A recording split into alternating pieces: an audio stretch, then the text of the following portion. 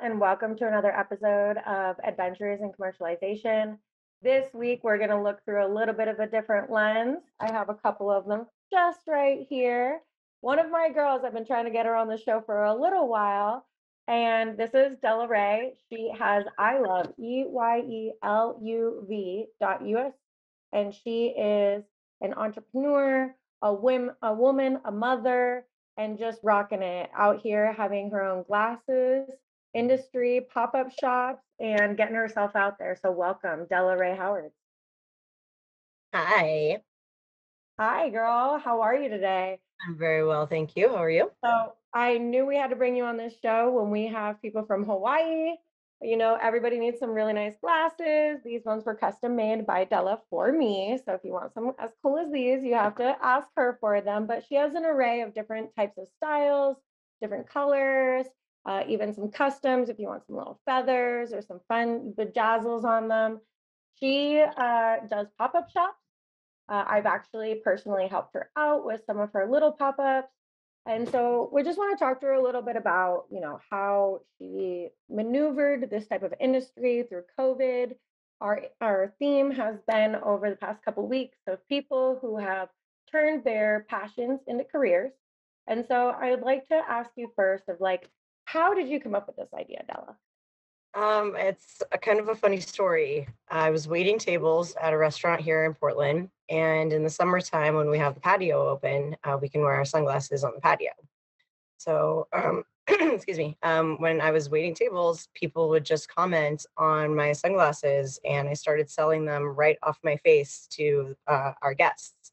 And I would go home uh, in the evening, and my partner would ask me, "What what happened to your sunglasses?" And I said, "I sold them again, right off my face." And he says, "Why aren't you doing this for business?"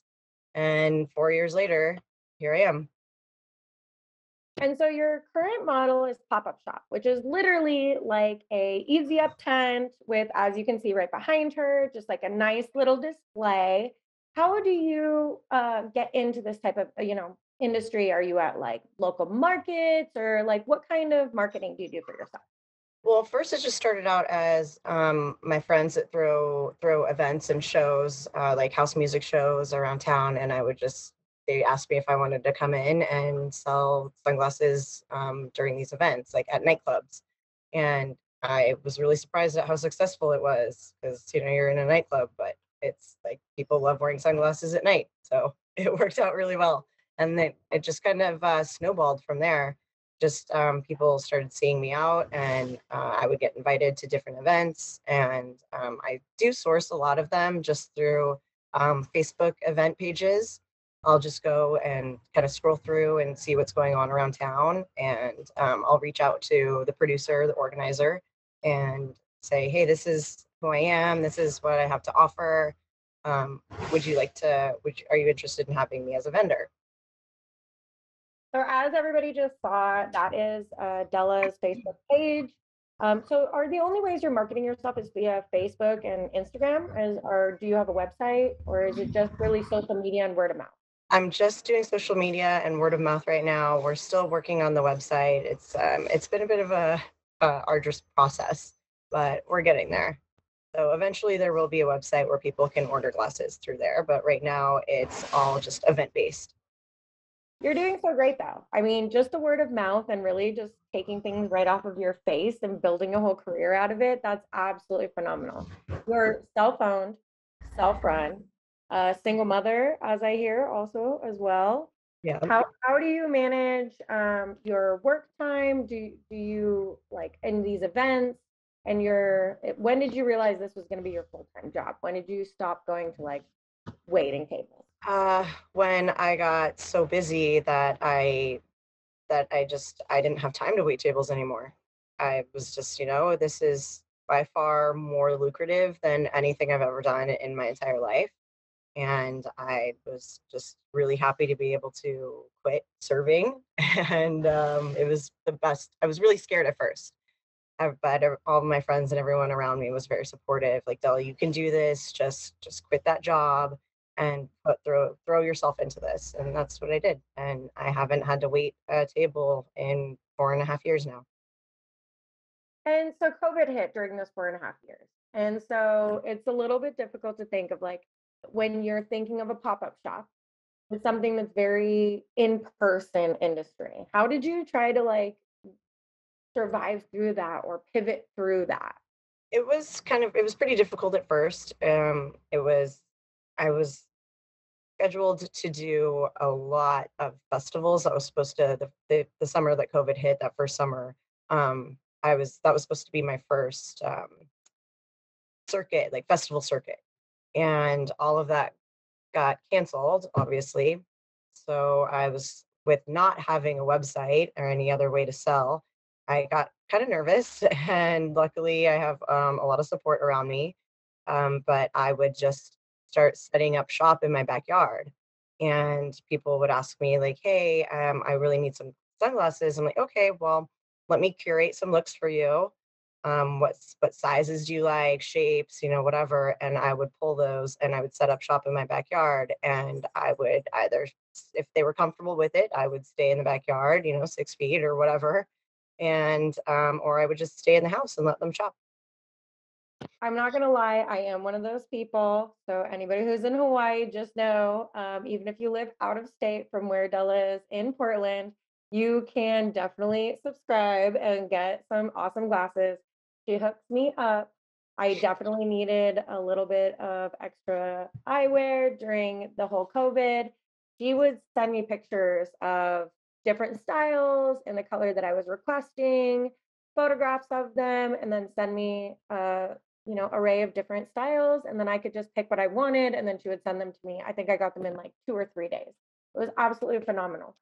How do you pick your pricing structure? What is your pricing structure? Um, well, I just do one for 20 or three for 45. Um, and it seems to go over really well. Sometimes people are like, sometimes people are like, $20? Oh, that's too much. But other people, they don't bat an eye at it. So it's, um, it's a good structure. And some things are a little bit more than others, just depending on um, size and style and um, if I've added anything to them. Yeah, so she does do customs as well, which are super fun. If you saw from the beginning of the show, we have feathers and a lot of other things. Um, it's just a great model. I think it's a lot, it's really different. You see some other people out there that have some pretty general styles. These are quite different. As you could see, you could like pull them up, you got a feather on them, all different styles, shapes, colors. She's very intuitive to picking them yourself. How do you pick your glasses? Um, there's a couple of different places that I source from, um, and I just go through and I scroll and I scroll and I scroll until I find like really cool stuff. Um, I kind of started buying stuff that I liked, and then once I started doing this, I realized, oh, you know, there are different shapes and other things that I don't normally wear that I need to have for for other people. Right? Yeah, she does do some crazy ones out there that say, like, "No" on them, but then when you turn 'em around and you take a picture of yourself, they say "on," Yeah, those are fun. really fun. Um, she has a totally different style. I think that we went to a pop-up shop one time, and there was another sunglasses space, but she has a completely different style than anybody else. So it wasn't a threat or anything strange on them. They could definitely come, and it's different. You know, sunglasses is a very, very wide market, as people in Hawaii may know already. Um, if you guys need glasses, any out there in comparison to Portland, uh, she's here for you. Um, so let's talk a little bit about the pop-up shop mentality. So why did, although we hit COVID, like, and we're doing Facebook and Instagram, why did you pick pop-up shop? I mean, I, I heard a lot about your networking and your support from the community and people asking you to do that, but like, why did you pick a pop-up shop rather than some other model of working? I know you got to like fit everything in your car. You have a lot of inventory with Sure. glasses. Like, how does that work? Um, it's it's just the best p- platform, I think, for- especially because you're putting something on your face, and it's like you wanna you you wanna you wanna put it on and see yourself, and it's so much. It, it's the experience of being able to do that that I think really draws people in, and it was just the best the best way to do it. Yeah, it is a lot of work. I do pack in and pack out, and sometimes some of these events I do like are in a park, and I have to climb a climb a really big hill to get there. But you know, it's worth it, and it's so much fun, and um, people they, they just love it. That's like you get the whole experience that way.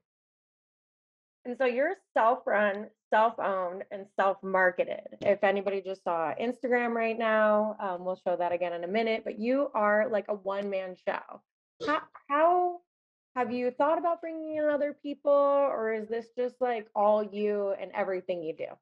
Yeah, I have a few friends that help me. Uh, they'll help me set up, um, and you know, because a lot of times I'll, you know, I'm a human. I need to have a bathroom break, and so they'll, they'll be hanging out with me, and they'll watch the watch the table, and sometimes, you know, I'll be able to take off for like you know 30 minutes and my rounds at the event, and I'll come back, and they'll be like, "Hey, I sold like three pairs of glasses. That's awesome, great." So I have um, a lot of people that want to be involved in it You and do people that as well. So you are a walking billboard for yourself. I mean, I know that people are, like you said, buying them directly off your face, which is so fun. Um, you have a style and a facade that totally draws people in. I know that I worked a table with Della before, and I feel like, like you said, I was there just to set up and take down. You are the show. Yeah, I've um I've actually I was gonna have um my partner Rob, he was gonna run uh run the booth for me one time. I was out I was out at a festival and they really wanted me there. And I said, Well, hey, I have, you know, Rob can come and he can run it and set it up and it'll it'll be great. But they responded with, Well, we really want the Della experience. It's just not the same without you. So it gets it gets pretty wild back there. But yeah. people it's a party. It's it's um it's something to do at an event where you don't have to leave to go do do it. It's like it's my table my booth is an, it's it's a party within itself. It's almost like a little escape from what you're doing and where you're at into something else and it keeps people it keeps people there. And people come to these events a lot of the time not planning on coming out, but because they know that I'm there and they know that that's where they have to go in order to get these glasses. And um, that as as a producer of an event or an organizer, they love that because I'm bringing people in and then they stay and they spend money at the bar and they pay, you know, for if there's a cover to get in. And so it works out really well for everyone. And you do need to try things on. So I recently, I mean, I work from home now. I started staring at a screen and it's different from sunglasses, but you, I started to think, okay, I need some glasses to put on my face so that I can look at the blue screen. And then they have this Zulu and Zennies and all these places where they have this like try it on, take a picture of my face and put them on my face. But I don't know if they're gonna look good. Like, are they really gonna look that good when I put them on my face? So I appreciate the experience of being full, you know, in the realm, putting them on, trying them on. I mean, you have a million different designs for a million different faces. So, I, mean, as you can see in the background right there, she has something for everybody. It's it's a whole, like you said, an experience to come try something on and pick it out and go. You can't, I mean, you can send me some pictures, but who knows what it's going to actually look on on somebody's face. So the model you have is really great. When we look at pop-ups, your pop-up, as I've known you for a couple years, your pop-up has grown. It is, you have friends who've created signs and logos and the experience. I think you just Yeah. got like some yellow backgrounds, which really like brighten up the light. Um, right now you have some pink in the background. What kind of things do you choose to really set yourself out from other pop-up shops? Because when we're doing pop-up shop, you have your shop next to somebody else, next to somebody else, next to somebody else, correct? Yeah. Yeah. So what do you do to like really set yourself out from whether there's another glasses shop or just another shop in general to really bring people in? Is it the location you pick at the festival or at the event? Is it the uh, lights and experience? Like, what do you do? What is your I strategy? do well the the um my business colors are like a really bright pink and um, almost like a turquoise blue. So I just try to go with anything that's eye catching. Like um, my my easy up um, pop up is bright bright yellow, and it almost when all the walls are on it, it kind of looks like a circus tent. So it's like see, people see it and they're like, "Oh, what's going on over there? What is that?" Um, and then I just bring like really fun stuff along. Like I have a disco ball that I hang from the top of it in the middle. I have um, all sorts of just like really kooky, funny things that have nothing to do with glasses whatsoever that I just set up and like like weird pictures or like I have this um plaque that I found at Goodwill. Uh it's a it's a plaque of Jesus and I like put gems are all over it and I glued a disco ball on top of his head and and I wrapped it in fairy lights so it's like it lights up and people are just like oh well how much for that you're like that's not even for sale buy some glasses yeah or I'll bring like a really old fake phone and just have that out on the table and people are like oh it's for me and then they end up coming in and buying stuff so it's just like funny little things that set you apart from from just someone who's just sitting there in a chair waiting for you to walk up to them. You know, it's it draws you in. I love that. I really love that. I think that that just sets you out from the rest. And so when we're doing these pop-up shops, do we have like is there do you have like a range that you're willing to pay for to put out to be at these events? Like is there a cost to them? Do you get them at no cost? Like I'm sure there's some networking involved for some of the events where they, like you mentioned they want you to be there because it's going to bring in a crowd How, what is your kind of like range for output to get the input from these places? Um, a lot of events it really just depends on the event. Um, a lot of the stuff that my friends put on they they'll they just want me there. So i don't they're like no vendor fee don't worry about it. Sometimes it's uh, 10% of my sales. Sometimes it's just a flat hundred dollars. Um, some festivals are a different story though. There's a few that I've turned down uh, for the summer just because it was just the price, the the vendor fee was just a little bit too too high for me. And I can do that, but I'd have to raise my prices in order to um, kind of make that money back and have it be worth my while, which I don't really like to do, but that's also why people spend you know $12 on a hot dog at a festival because that's that's why people you know a lot of people don't understand why these things are so expensive but it's because of the fees that we have to pay in order to be there totally understandable and so would you prefer to pay 10% of your sales or a flat rate for a booth um it it's hard to it's hard to say sometimes because i I, I want to support these venues as well. Like a lot of the venues that I'm going to, they're owned uh, and operated by my close friends. So um, and I always want to support them and support what they're doing and support their business. Um, so sometimes I'm like, hey, well, why don't we see, why don't we wait and um, I'll either do the hundred dollars or if 10% is more than that, why don't we go with that way? Because you know, they're supporting me and I'm supporting them. Yeah, that's fantastic. I was just wondering of like how much you feel like you're going to make, how big is the event? You know, it's really there's a lot that goes into it, especially with pop-ups. And yeah, and I always ask, I always ask um, what ticket sales have been, uh, what the capacity is, um, stuff like that, just so I can get a range on, especially with how much stuff I need to bring, how much inventory.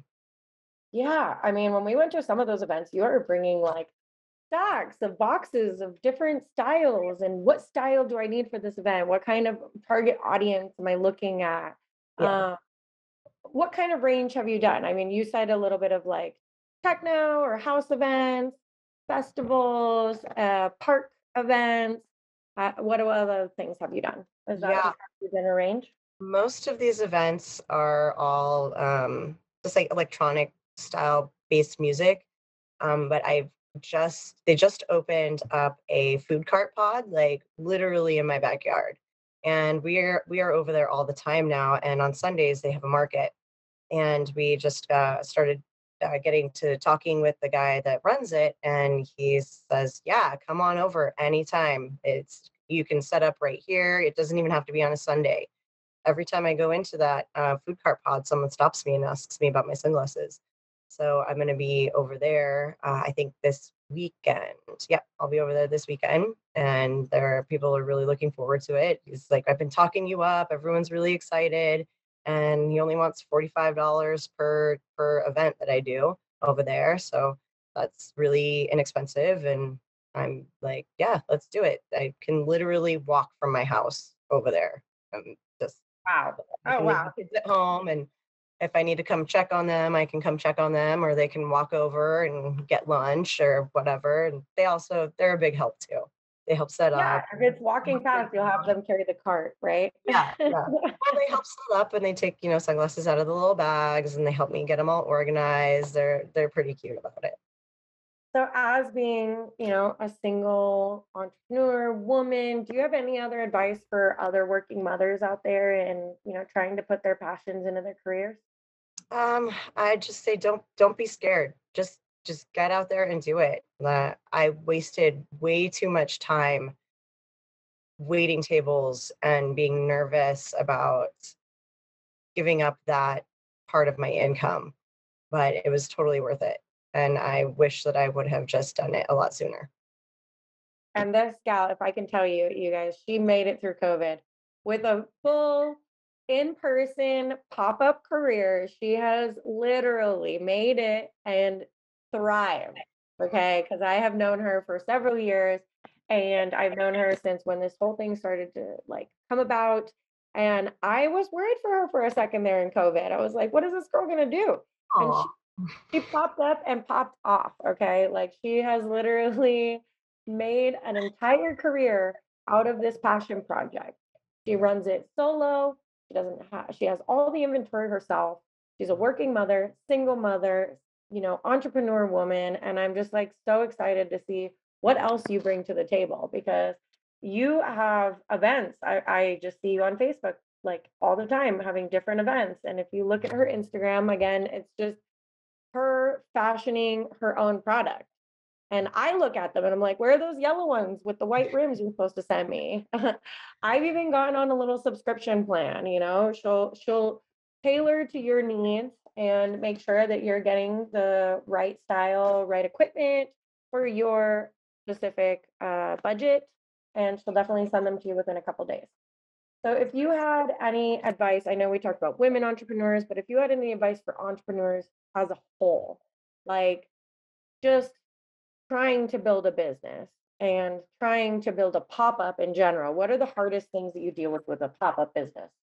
Uh, it's just setting the time aside to make sure that you are staying organized and um, making sure that you are taking track of your inventory, uh, stuff like that. Like you have to, it's, it was difficult for me at first thinking, well, I'm not, I'm doing this, but I'm not making any money doing this right now, but I have to do that in order to make the money.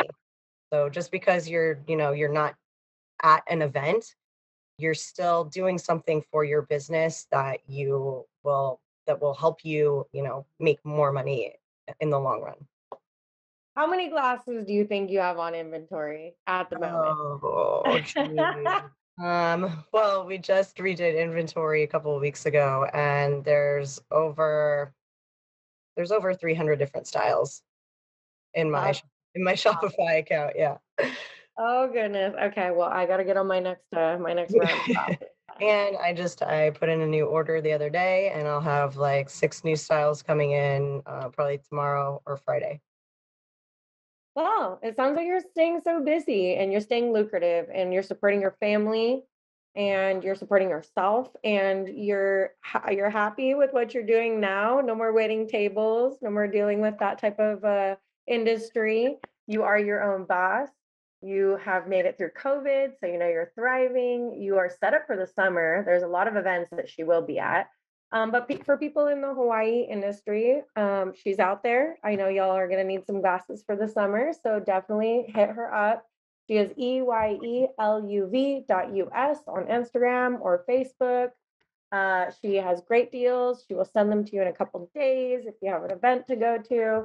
uh, definitely contact Della Rae Howard's over here. She is making things happen.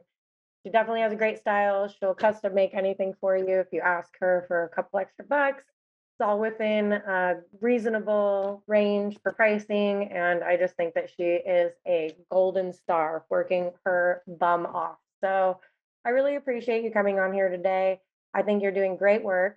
And I think you have an amazing business model. Pop up shops were definitely not easy to make it through COVID, but you did. I mean, you definitely made that happen. And now you have a full schedule for the summer. I think you're booked out, aren't you? I mean, you got a lot of things going on this summer. Yeah, I'm booked out for the rest of July. Um, June is filling up. Um, yeah, I'm actually even double booked on some days doing daytime beach events and then I'll have like a couple hours to get back to the house, restock, and then do um an, a nighttime event. I'm doing um yeah, there's a there's a group that I'm I'm involved with called the UV Collective, and they throw parties um, uh, on the river in Portland. And I'll be doing that during the day, and then I'm booked for uh, an Arnold and Lane Dirty Bird show uh, that night. All so, right. Okay. Okay.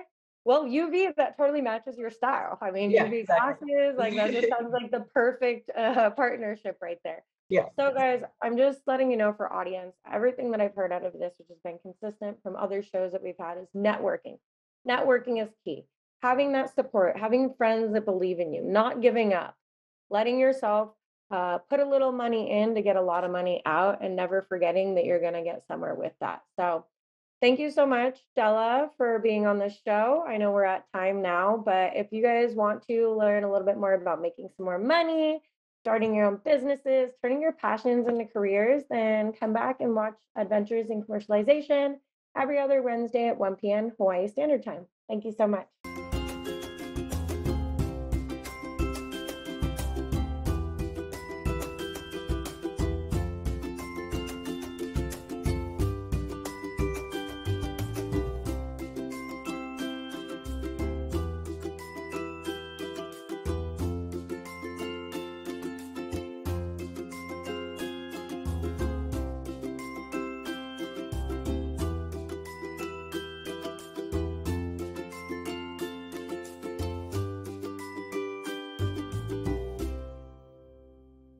Thank you so much for watching Think Tech Hawaii. If you like what we do, please like us and click the subscribe button on YouTube and the follow button on Vimeo. You can also follow us on Facebook, Instagram, Twitter, and LinkedIn, and donate to us at thinktechhawaii.com. Mahalo.